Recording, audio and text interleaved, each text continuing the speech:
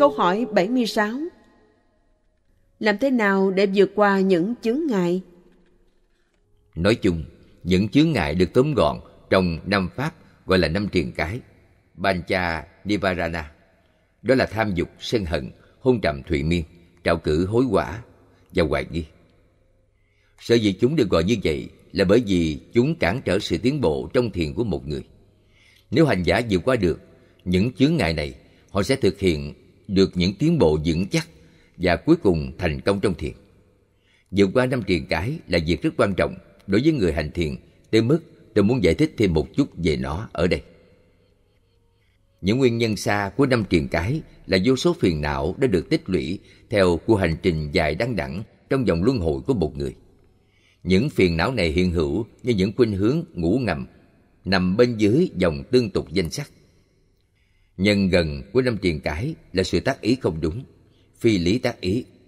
Ayo Disoma Nasikara Do đó, cách rút ráo để vượt qua năm tiền cái này là tiêu diệt hoàn toàn mọi phiền não, kể cả những khuynh hướng ngủ ngầm của chúng.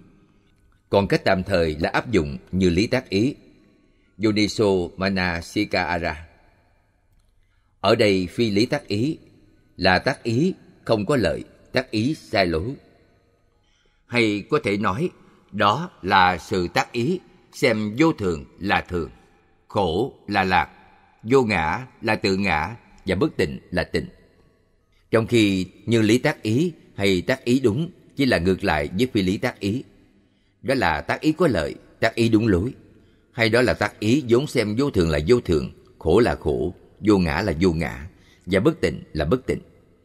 Đối với dục tham tiền cái, trong Eka Dipata của Agutara Nikaya Tăng Chi Bộ Kinh, Đức Phật dạy như sau.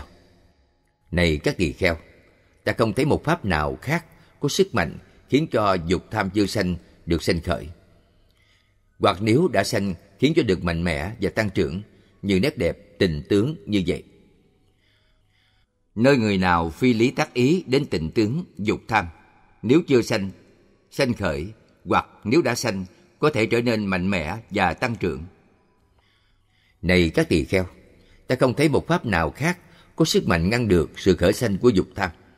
Nếu chưa sanh, hoặc nếu đã sanh, khiến cho được đoạn trừ, như nét bất tịnh, bất tịnh tướng.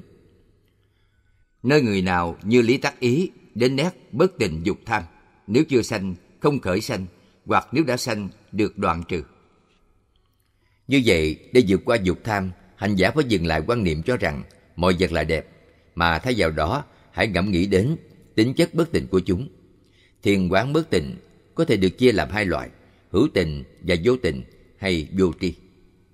Loại hữu tình của thiền quán bất tình là tập trung vào tính chất bất tình hay đáng nhòm gớm của 32 thể phận, đó là tóc, lông, móng, răng, da, thịt, gân, xương, tủy, thận, tim, gan, vân vân, nước tiểu.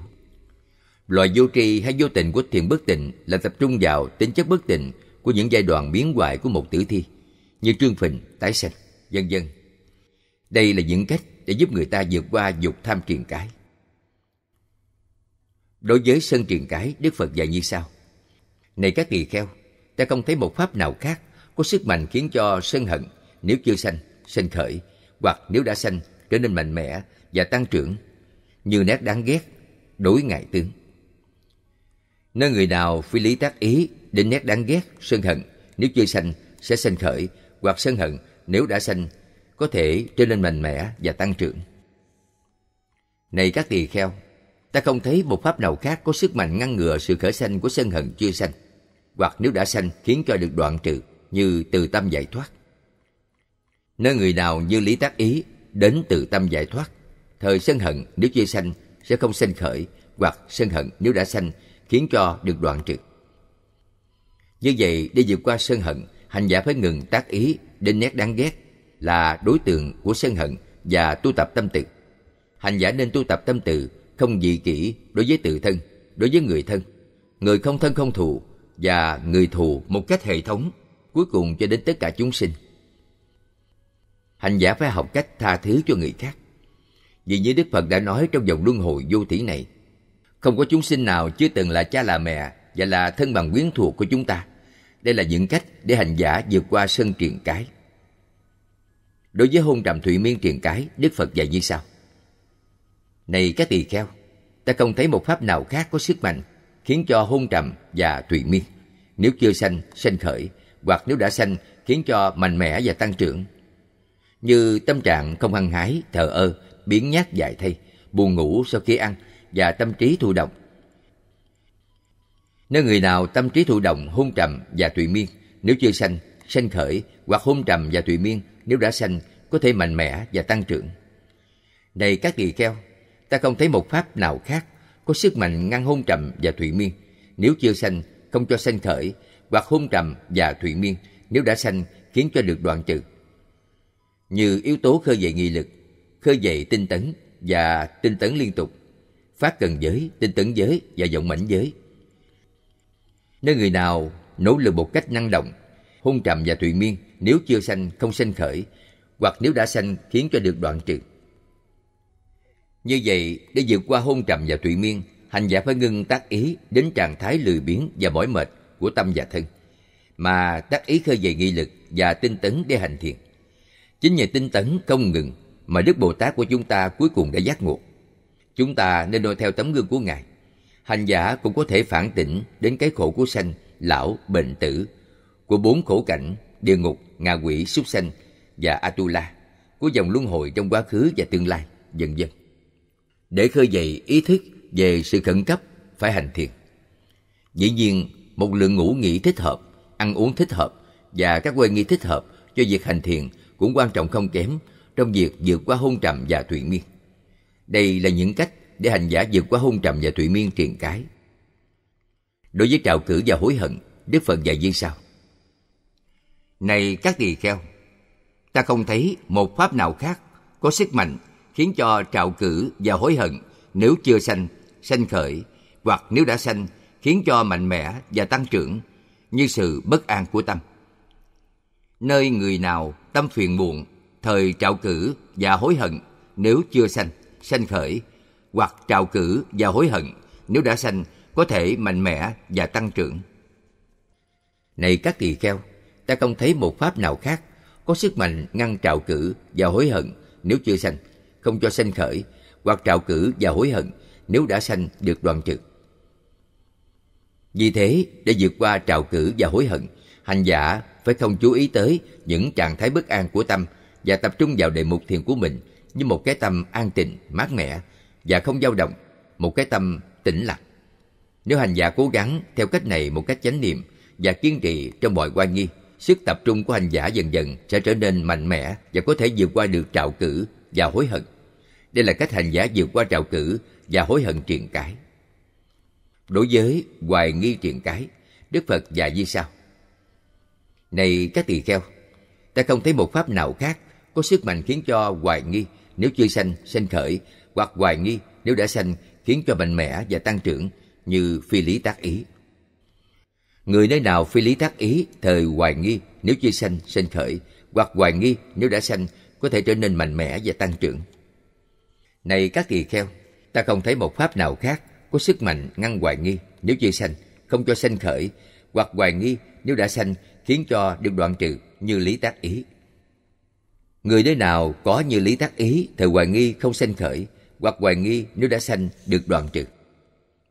Vì thế, để vượt qua hoài nghi triền cái, hành giả phải luôn luôn áp dụng như lý tác ý, phản tỉnh trên sự kiện rằng các pháp hữu vi đều vô thường, khổ và vô ngã. Hành giả cũng nên suy tưởng đến những phẩm chất tối thượng của Đức Phật, giáo pháp và chữ tăng, đồng thời học hỏi những lời dạy của Đức Phật về thực hành thiền chỉ, thiền quán một cách cẩn thận với sự hướng dẫn của một vị thầy thiện xạo. Đây là những cách để hành giả vượt qua hoài nghi truyền cái. Trên đây chỉ là một vài ví dụ về những cách vượt qua năm truyền cái do Đức Phật dạy. Để có thêm chi tiết, vui lòng nghiên cứu bài kinh và tham khảo bản việt dịch vượt qua chướng ngại của tiến sĩ Ba Ao Sayadaw, tỳ kheo Pháp Thông Dịch 2008. Khi hành giả đắc các bậc thiền do hành thiền chỉ hay đắc các minh sát tuệ do hành thiền minh sát, hành giả vượt qua năm triền cái một cách tạm thời. Khi hành giả đạt đến giai đoạn nhập lưu, Sotabanya, hành giả vượt qua hoài nghi, triền cái vĩnh viễn. Khi hành giả đạt đến giai đoạn bất lai, Anagami, hành giả vượt qua dục tham và sân hận triền cái vĩnh viễn. Khi đạt đến giai đoạn A-la-hán, hành giả vượt qua hôn trầm thụy miên triền cái và trạo cử hối hận triền cái vĩnh viễn. Đây là cách vượt qua các chướng ngại một cách triệt để. Câu hỏi 77 Nama và Rupa là gì? Có phải chúng là danh và sắc? Hay Nama và Rupa trong Pháp duyên khởi không? Hai loại Rupa này có giống nhau không? Kiến thức về Nama và Rupa rộng đến nỗi để giải thích chi tiết về chúng sẽ phải mất một thời gian khá lâu. Quý vị phải nghiên cứu tường tận di diệu Pháp để hiểu rõ về chúng. Ở đây tôi sẽ chỉ trả lời một cách tóm tắt. Nama, danh, bao gồm tâm, chitta và các tâm sở. Chetasika Có 89 loại tâm, gồm cả tâm thiện, tâm bất thiện, tâm quả và tâm duy tác. Có 52 tâm sở, gồm một Những tâm sở chung biến thành tâm sở như xúc, tác ý, tư. hai Những tâm sở tình hảo như tính, niệm, vô tham và vô sân. ba Những tâm sở bất thiện như tham, sân, si và tà kiến. Ruba, sắc gồm 28 loại do tứ đại, đất, nước, lửa và gió và 24 tứ đại sở tạo sắc hay sắc y đài sinh như màu, mùi, vị, dưỡng chất tạo thành. Sắc có thể chia làm bốn loại theo nguồn gốc của chúng. Sắc do nghiệp sanh, do tâm sanh, do thời tiết sanh và do vật thực sanh. Còn về Nama và Rupa, đề cập trong Pháp Duyên Khởi, giải thích theo Pháp Môn Kinh, Sutanta. Nama ở đây có nghĩa là các tâm quả và tâm sở kết hợp của chúng, chứ không gồm các tâm thiện, bất thiện, duy tác và những tâm sở kết hợp của chúng như trong di diệu pháp. Rupa chủ yếu là sắc do nghiệp sanh và sắc do tâm quả sanh. Song hiển nhiên là sắc do thời tiết và sắc do vật thực sanh cũng được bao gồm. Hai sắc này được tạo ra bởi yếu tố lửa, quả đại và dưỡng chất tương ứng trong hai loại sắc đã đề cập ở trên. Tất cả bốn loại sắc được bao gồm ở đây. Vì thế, Ruba và Ruba của Nama Ruba trong Pháp Duyên Khởi là như nhau. Câu hỏi 78 Kinh nói rằng Đức Phật thường thường thuyết pháp bắt đầu với việc nói về bố thí, giữ giới và hạnh phúc cõi trời. Rồi Ngài quan sát căn cơ của người nghe và dạy cho họ thấy những bất lợi của tham dục, cũng như các pháp cao quý của chư Phật, gồm khổ, nguồn gốc của khổ, sự diệt của khổ và con đường dẫn đến sự diệt khổ. Xin Sayadaw vui lòng nói cho chúng con biết bố thí cúng dường được quả lớn như thế nào và giữ giới ngăn được cái khổ thiêu đốt trong địa ngục và hưởng được những lợi ích lớn ra sao. Thế nào là thuyết về cõi trời? Thế nào là những bất lợi của dục tham đối với các dục lạc? Loại thuyết pháp này gọi là Anubhupi Katha, tức hướng dẫn theo tuần tự.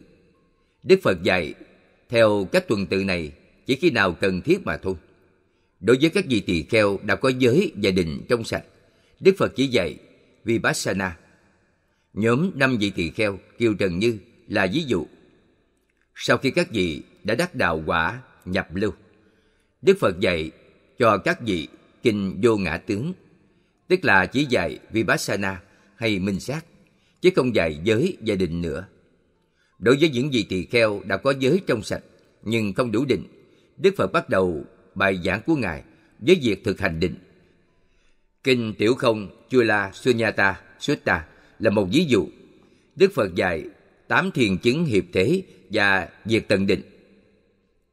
Nirotha Samabati Trong bài kinh đó, đối với những người giới vẫn chưa thanh tịnh, Đức Phật bắt đầu bài giảng của Ngài với giới, giống như kinh Akan Khiya. Đối với những người cần nghe những lời dạy về bố thí giữ giới dân dân. Đặc biệt, đối với người tài gia, Đức Phật đưa ra một sự hướng dẫn theo tuần tự. Anu Buppi Katha. Còn về cách để có được những quả lớn từ việc cúng dường hay bố thí, kinh phân biệt cúng dường, Daki Navi Panga Sutta cung cấp cho chúng ta nhiều hướng dẫn cụ thể. Trong bài kinh đó, Đức Phật liệt kê 14 loại cúng dường cá nhân, cá nhân thí. Từ cúng dường được làm đến một vị Phật, xuống đến bố thí cho một phàm nhân không giới đức và thậm chí đến một con vật. Mỗi loại bố thí đều có những lợi ích của nó, nhưng sự hoàn thiện giới đức của người thọ nhận càng cao thì những lợi ích do việc cúng dường tạo ra càng lớn. Và rồi ngay cả đối với những cúng dường hay bố thí được làm đến cùng một loại người thọ nhận, lợi ích của chúng vẫn khác nhau, tùy thuộc vào tác ý của người bố thí. Chẳng hạn, khi người ta thực hiện việc cúng dường với tâm thanh tịnh, tức là không mong đợi bất cứ điều gì đáp trả, họ gặt những lợi ích lớn hơn một người với tâm bất tịnh, mong đợi một phần thưởng nào đó. Cúng dường được thanh tịnh nhờ giới thanh tịnh của người cúng dường, hoặc giới thanh tịnh của người thọ nhận, hoặc giới thanh tịnh của cả hai. Cúng dường thanh tịnh đem lại những lợi ích cao thượng. Do đó, để có được những kết quả lớn và cao thượng từ việc cúng dường, hành giả phải hội đủ năm yếu tố. Một là người có giới. Hai, vật cúng dường có được một cách chính đáng, hợp lẽ đạo. Ba, tâm gột sạch những cấu quế, không mong đợi phần thưởng. Bốn, có niềm tin đủ mạnh nơi nghiệp và quả của nghiệp.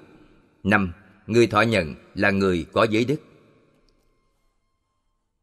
Cúng dường có đủ năm yếu tố này sẽ tạo ra những quả lợi ích lớn. Tuy nhiên, Đức Phật hoàn toàn không tán dương loài cúng dường này, bởi vì nó vẫn đem lại sự tái sinh trong một sanh hữu nào đó. Bao lâu còn có tái sanh, chắc chắn sẽ vẫn còn sanh già, bệnh, chết, sầu, bi, khổ, ưu và não. Đức Phật khen ngợi một loại cúng dường khác. Ngài dạy trong Kinh Phân biệt cúng dường như vậy.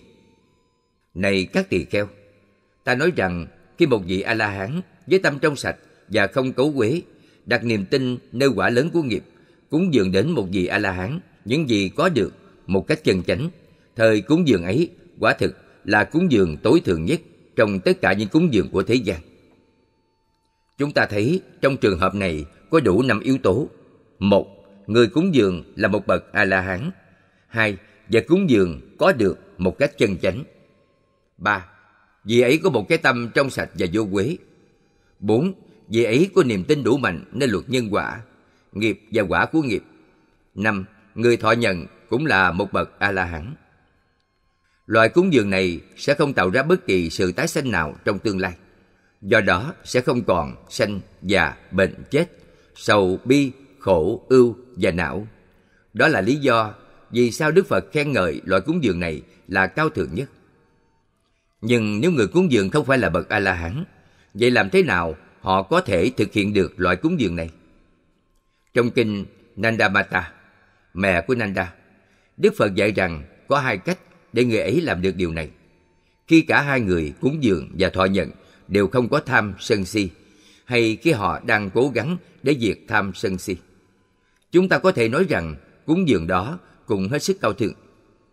Trong trường hợp này, thí chủ vào lúc cúng dường thực hành Vipassana, đó là người ấy quán tính chất vô thường, khổ và vô ngã của danh sắc của mình, danh sắc của người thọ nhận và sắc chân đế, Paramatha Rupa của những vật cúng dường. Người ấy cũng phải quán những tâm hành thiền trước, trong và sau khi cúng dường như vô thường, khổ và vô ngã. Loại cúng dường này thường sẽ không tạo ra bất kỳ sự tái sanh nào trong tương lai. Để thoát khỏi dòng tái sanh luân hồi, quý vị được khuyên nên thực hiện loại cúng dường này. Còn về giữ giới, nếu quý vị là một vị tỳ kheo, quý vị nên cố gắng để giữ các giới thuộc Ba La Đề Mộc Xoa, Ba Ti Mô Kha. Nếu quý vị là một người tài gia, quý vị nên giữ ít nhất là ngũ giới và nếu giữ trong sạch trong suốt cuộc đời mình vẫn tốt hơn. Thỉnh thoảng phạm giới là điều không tốt. Nếu một người tại gia có cơ hội, quý vị nên cố gắng giữ bát giới, bát quan trai giới hoặc cửu phần bát quan giới. Navanga Ubosatha Cửu phần bát quan giới có nghĩa là khi quý vị giữ bát quan, quý vị cũng thực hành thêm thiền tâm từ nữa. Điều này được đề cập trong Navaka Nibata của Tăng Chi Bộ Kinh. Giữ những giới này có thể ngăn được cái khổ thiêu đốt trong địa ngục. Khi những giới này được hỗ trợ bởi định, như tám thiền chứng và các binh sát trí, chúng trở nên cao thượng hơn và mạnh mẽ hơn, giúp người ta không phải rơi vào bốn ác đạo. Nếu người ta đắc giới của bậc thánh Ariya Chantasila, có nghĩa là khi người ta trở thành một bậc thánh, họ chắc chắn không còn phải đi vào địa ngục nữa. Thuyết về cõi trời Sagakatha nghĩa là thuyết về hạnh phúc trong thiên giới. Chúng ta không thể đo lường được hạnh phúc trong thiên giới. Nếu quý vị muốn biết hạnh phúc cõi trời ra sao, quý vị nên cố gắng để lên trên đó. Chẳng hạn, những tòa lâu đài của họ rất là kỳ diệu, làm bằng vàng bạc và các châu báu khác, vân vân. Hợp theo nghiệp đời trước của họ. Một số tòa thiên cung của họ rất lớn, kích thước của chúng chiều dài cũng như rộng, dài cả ba do tuần. Một số thậm chí lên đến 40 do tuần. Một do tuần, Yochana khoảng 11 km. Đức Phật dạy những bất lợi của tham thú dục lạc theo nhiều cách. Trong kinh Botaliya của Trung Bộ Kinh, Ngài dùng những ví dụ khác nhau như một con chó không thể giết được cơn đói và sự yếu ớt của nó bằng cách gặm một khúc xương khô. Các dục lạc được so sánh với khúc xương ấy. Một con chim kênh kênh dồ được một miếng thịt và bay lên sẽ bị những con kênh kênh khác cắn mổ và cấu xé cho đến chết hoặc bị khổ đến chết do miếng thịt đó như thế nào thì các dục lạc cũng thế. Một người cầm bó đuốc cỏ khô đi ngược chiều gió sẽ bị nó đốt cháy đến chết hoặc bị khổ như chết. Các dục lạc được so sánh với cây đuốc cỏ khô ấy. Một người rơi vào hố than đang cháy sẽ bị chết hoặc khổ như chết. Các dục lạc được so sánh với hố than đang cháy ấy. Một người nằm mộng, thấy những vườn cây khả ái sẽ không thấy gì khi thức dậy. Các dục lạc được so sánh với cơn mộng. Một người mượn của cải của người khác sẽ trở nên thất vọng khi chủ nhân của nó lấy lại những của cải của họ. Các dục lạc được so sánh với của cải dây mượn. Một người trèo lên cây kiếm trái sẽ bị chết hoặc khổ như chết khi cây bị người khác chặt đổ xuống. Các dục lạc được so sánh với cây ăn trái đó. Như vậy, các dục lạc đem lại nhiều khổ đau và ưu não, trong khi sự nguy hiểm trong chúng còn lớn hơn. Đây là những nguy hiểm của dục lạc và những bất lợi của lòng tham đối với chúng. Trong kinh Magadhiya, Magadhiya Sutta của Trung Bộ, Đức Phật đã dùng một hình ảnh như vậy. Ví như này Magadhiya, một người bị bệnh cùi với những vết lở lõi và phồng dợp trên tay chân, bị trùng bò đục khoét, đang cào bung dãy miệng của những vết thương với móng tay của mình.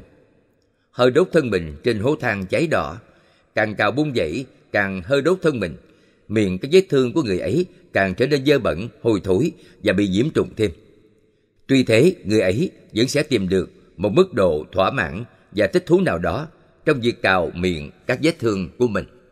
Cũng vậy, này Magandiya, các chúng sinh chưa thoát khỏi dục tham đối với các dục lạc, đang bị nhai nghiến bởi các khao các dục lạc, đang bị thiêu đốt với cơn sốt của các dục lạc. Càng đắm chìm trong các dục lạc, khát ái, đối với dục lạc của họ càng tăng, thì càng bị cơn sốt dục thiêu đốt thêm. Tuy thế, họ vẫn tìm thấy một mức độ thỏa mãn và thích thú nào đó do duyên ngũ dục. Còn trong kinh Aditta Pariyaya của Tương ưng Bộ, Đức Phật nói về sự nguy hiểm chấp thủ tướng của các đối tượng giác quan như vậy. Này các tỳ kheo, thà để cho nhãn căn bị hủy hoại bởi một cây kim bằng sắt nung cháy đỏ, cháy hừng, cháy với lửa ngọn, hơn là chấp thủ tướng riêng, tướng chung đối với các sắc do mắt nhận thức. Vì nếu thức bị trói buộc vào vị ngọt trong tướng chung hay vị ngọt trong tướng riêng, và vào lúc ấy nếu người đó mệnh chung, có thể người đó sẽ đi đến một trong hai sanh thú, cõi địa ngục hay cõi súc sanh. Do thấy sự nguy hiểm này, ta nói như vậy. Theo cách tương tự, Đức Phật đã giải thích sự nguy hiểm đối với việc chấp thủ tướng của một âm thanh, tướng của một mùi, tướng của một gì, vân dân. Lý do một người chấp thủ như vậy bị tái sanh vào cảnh giới địa ngục hay cảnh giới súc sanh là vì tốc hành tâm cận tử, Marana Sanna javana, tốc hành tâm cuối cùng trong một kiếp sống sẽ quyết định kiếp kế của họ. Nếu một tốc hành tâm cận tử bất thiện khởi lên do tham ái hay bất kỳ một phiền não nào khác, người ta sẽ đi đến một trong bốn cõi khổ sau khi chết. Chẳng hạn, 500 tiên nữ của thiên tử Surama đã chết trong khi họ đang thọ hưởng các dục lạc nơi cõi trời và liền tái sanh vào cõi địa ngục. Câu hỏi 79 Nimitta, quan tướng, có phải do tâm của chúng ta tạo ra không? Đúng vậy. Tâm định có thể tạo ra nimitta. Bởi vì hơi thở vô và hơi thở ra là do tâm tạo. Khi tâm trở thành một tâm định, tâm định đó có thể tạo ra nimitta. Tâm tạo ra hơi thở cũng như tâm định có thể tạo ra nimitta vậy. Nimitta và hơi thở là một. Theo lời dạy của Đức Phật, hơi thở là do tâm của chúng ta tạo ra. Mỗi thức sanh lên nương vào ý vật, tâm cơ, có thể tạo ra các tổng hợp sắc Kalabas và tổng hợp sắc này là sắc do tâm sanh. Nếu quý vị có thể phân biệt được tứ đại trong hơi thở của quý vị một cách hệ thống, quý vị sẽ thấy hơi thở không là gì cả, ngoài một nhóm các phân tử nhỏ gọi là calabas. Những calaba này nếu phân tích ra thì có 8 loại sắc. Trong số 8 loại sắc ấy có sắc màu và màu của calaba này với màu của các calaba khác hợp lại trở thành quan tướng hay Nimitta vậy. Câu hỏi 80 Như vậy, Nimitta là một loại sắc, có phải vậy không? Phải, đó là một loại sắc. Nhưng trước khi quý vị phá vỡ được nguyên khối tượng của đó, chúng ta vẫn gọi Nimitta này là khái niệm Banati, gồm một nhóm các phân tử nhỏ. Câu hỏi 81 còn thực tình không hiểu chỗ khác nhau giữa sự cảm giác về hơi thở và tự thân hơi thở. Bởi vì trong phần trình pháp riêng, Ngài bảo còn phải chú ý đến tự thân hơi thở thay vì đến sự cảm giác về hơi thở. Nhưng chẳng biết điều đó có đúng không, bởi vì hơi thở chỉ là một loại gió vu vơ. Theo con nghĩ, chính nhờ có sự cảm giác về hơi thở mà còn biết được có sự hiện hữu của hơi thở, có đúng không? Vì thế, nếu không chú ý đến sự cảm giác về hơi thở, còn không biết làm thế nào để có thể cảm giác được tự thân hơi thở. Điều đó đúng, nhưng bà không nên chú trọng đến sự cảm giác. Chẳng hạn, khi hơi thở xúc chạm môi trên, đôi khi bạn cảm thấy môi trên trở nên cứng, đôi khi bạn cảm thấy ở chỗ đó ấm, đôi khi bạn cảm thấy ở chỗ đó mát, lạnh. Nói chung có thể bạn sẽ cảm giác những đặc tính cứng, thô, nặng, mềm, mịn, nhẹ, nóng, lạnh, hoặc có thể có sự đẩy và hỗ trợ, nâng đỡ. Khi hơi thở của bạn xúc chạm môi trên hay lỗ mũi, nếu bạn nhấn mạnh đến sự cảm giác của bạn, bạn có thể cảm thấy các trạng thái cứng, thô, nặng, mềm, mịn, nhẹ, nóng, lạnh, hoặc sự đẩy và hỗ trợ, nâng đỡ. Nếu bạn nhấn mạnh đến những cảm giác đó là bạn đang hành thiền tứ đại chứ không phải thiền niệm hơi thở, Anabana. Bạn không nên lẫn lộn giữa thiền hơi thở và thiền tứ đại. Nếu bạn hành thiền tứ đại thì các đặc tính của tứ đại là đề mục thiền của bạn. Nhưng bạn không chỉ phân biệt tứ đại ở một điểm như vậy, mà phải phân biệt ở khắp toàn thân. Đó là thiền tứ đại. Hiện nay, bạn đang hành thiền hơi thở. Khi bạn hành thiền hơi thở, thì hơi thở trên điểm xúc chạm là đối tượng thiền của bạn. Vì thế, sự cảm giác không phải là đối tượng thiền của bạn. Nếu bạn nhấn mạnh đến sự cảm giác, bạn có thể sẽ chỉ cảm thấy tính chất cứng, thô, nặng, mềm, vân vân. Nhưng đây không phải là đối tượng của thiền hơi thở. Đề mục thiền hơi thở của bạn chỉ là hơi thở đi ra khỏi mũi bạn. Nhưng khi hơi thở ra vô mà không có cảm giác xúc chạm, bạn không thể cảm nhận được. Điều đó đúng. Nhưng bạn không nên nhấn mạnh đến cảm giác xúc chạm, mà phải nhấn mạnh đến hơi thở xúc chạm trên môi trên hay lỗ mũi của bạn. Chẳng hạn, có một khúc cây và bạn đang cắt khúc cây ấy bằng lưỡi cưa. Lưỡi cưa đi qua phía bên này và bên kia khúc cây. Nếu bạn cứ dõi theo phía bên này và phía bên kia thì sự tập trung của bạn không phát triển được. Lưỡi cưa đang chạm vào khúc cây. Từ điểm chạm này, nếu bạn nhấn mạnh đến lưỡi cưa thì sự tập trung của bạn có thể phát triển được. Hơi thở cũng giống như lưỡi cưa, điểm xúc chạm giống như khúc cây. Bạn không cần phải chú trọng đến cảm giác xúc chạm, bạn chỉ chú trọng đến lưỡi cưa. Bạn có hiểu không nào? Như vậy, lưỡi cưa là đối tượng thiền của bạn. Sự xúc chạm không phải đối tượng thiền. Nhưng từ chỗ xúc chạm, bạn phải nhấn mạnh chỉ lưỡi cưa, hơi thở mà thôi. Được không? Câu hỏi 82 Trong thiền, tình trạng như thế nào được gọi là rơi vào hữu phần, Favanga? Trường hợp rơi vào hữu phần được cảm nhận một cách rõ ràng, đặc biệt khi người ta đạt đến giai đoạn cần định, Upachara Samadhi, nhưng không duy trì được định của mình. Và lúc đó, người ta sẽ để ý thấy rằng có một sự trống động của tâm hay có một khoảng thời gian người ta không biết gì cả. Chính vì trong khoảng thời gian ấy không có những tiến trình tâm xảy ra, mà chỉ có những tâm hữu phần nối tiếp nhau sanh và diệt mà thôi. Tâm hữu phần khởi lên giữa hai tiến trình tâm và bắt đối tượng cần tử trong kiếp trước của một người thay vì đối tượng hiện tại. Tất nhiên người ta không thể nhận ra đối tượng của tâm hữu phần trừ khi họ đã hành thiền phân biệt duyên khởi thành công. Vì lẽ không nhận thức được đối tượng nên người ta cảm giác rằng họ không biết gì cả. Hiện tượng này gọi là rơi vào hữu phần. Nó chẳng phải sự diệt của hoạt động tâm, cũng chẳng phải là niết bàn. Theo di diệu pháp của Đức Phật, sau mỗi tiến trình tâm, tâm hữu phần thường thường xuất hiện. Đối với Đức Phật, hai tâm hữu phần khởi lên giữa các tiến trình tâm. Đối với tôn giả Xá Lợi Phất, Sariputta, 16 tâm hữu phần. Đối với những người khác thì vô số tâm hữu phần khởi lên giữa hai tiến trình tâm. Mặc dù lúc nào cũng có rất nhiều tâm hữu phần sanh lên và diệt đi như vậy, người ta vẫn thường không nhận ra chúng. Chỉ khi tâm của họ hoàn toàn yên tĩnh và tập trung, đặc biệt ở giai đoạn cần định, họ sẽ nhận ra sự khởi lên nối tiếp nhau của những tâm hữu phần này. Đây là sự rơi vào hữu phần. Pabanga Khi hành giả kinh nghiệm sự rơi vào hữu phần, hành giả không nên thích thú hay chán nản. Vì đây chỉ là một hiện tượng tự nhiên trong quá trình hành thiền. Tất cả các hành giả cần làm là tiếp tục giữ chánh niệm trên đối tượng thiền của mình. Khi hành giả đạt đến giai đoạn an chỉ định, các thiền chi sẽ đủ mạnh để duy trì định của hành giả trong một thời gian lâu, không rơi vào hữu phật.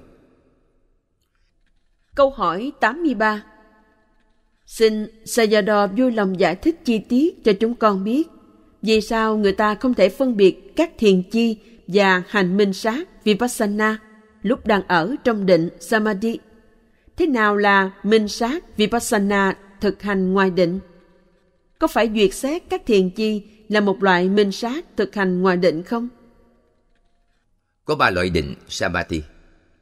Đó là sát na định, Khanika Samadhi, cần định Upachara Samadhi và an chỉ định Abana Samadhi hay là Chana Samadhi. An chỉ định sâu hơn cần định và cần định sâu hơn sát na định. Chỉ khi xuất khỏi an chỉ định hay cần định, người ta mới có thể duyệt xét các thiền chi hoặc hành minh sát Vipassana. Vì sao? Vì các thiền chi và các đối tượng của minh sát không phải là đối tượng của cần định và an chỉ định vậy. Khi một người hành thiền chỉ Samatha như niệm hơi thở Anapanasati chẳng hạn, đối tượng của cần định và an chỉ định là tờ tướng của hơi thở Anapanasati Nimitta chứ không phải là các thiền chi. Người ta không thể tập trung trên các thiền chi để đắc cận định hay an chỉ định được. Sau khi hành giả tập trung tâm trên tờ tướng hơi thở trong một thời gian đủ lâu, vào lúc hành giả bắt đầu duyệt xét các thiền chi, hành giả kể như đã xuất khỏi cận định hay an chỉ định rồi. Và lúc đó định của hành giả chỉ là sát na định. Đó là lý do vì sao hành giả không thể duyệt xét các thiền chi khi đang ở trong cận định hay an chỉ định. Khi hành giả đang hành minh sát, đối tượng của hành giả là danh sắc chân đế và những tính chất vô thường, khổ và vô ngã của chúng. Sự tập trung trên những đối tượng này chỉ là sát na định, chứ không phải cận định hay an chỉ định, bởi vì những đối tượng này luôn luôn sanh và diệt. Nói chung, hành giả không thể đắc cận định hay an chỉ định bằng cách tập trung trên những đối tượng của Vipassana. Đó là lý do vì sao trong lúc đang ở trong cận định hay an chỉ định, người ta không thể hành minh sát Vipassana được. Hành minh sát Vipassana ngoài định có nghĩa là sau khi xuất khỏi cận định hay an chỉ định, hành giả phân biệt danh sắc chân đế và quán chúng như vô thường, khổ và vô ngã. Việc quán này được thực hiện ngoài Samatha, Chana, thiền định. Nhưng vào lúc đó, hành giả vẫn có sát na định, một loại định của thiền minh sát, Vipassana Chana. Do vậy cận định hay ăn chỉ định đi trước là một hỗ trợ mạnh mẽ giúp hành giả phân biệt và quán các đối tượng minh sát một cách rõ ràng. Theo cách này, Samatha Chana chỉ hỗ trợ cho Vipassana Chana. Vipassana hay minh sát là quán các hành kể như vô thường, khổ và vô ngã. Vì thế, nếu một người chỉ duyệt xét các thiền chi, họ không phải đang hành minh sát. Để hành minh sát, Vipassana, người ta phải phân biệt không chỉ các thiền chi mà còn tất cả các tâm hành khác trong bậc thiền đó theo tiến trình tâm. Chẳng hạn, người ta phải phân biệt 34 tâm hành thông thường trong sơ thiền. Đây là giai đoạn ban đầu của thanh tịnh kiến và là nền tảng của minh sát, Vipassana. Kế, người ta phải quán chúng như vô thường, khổ và vô ngã.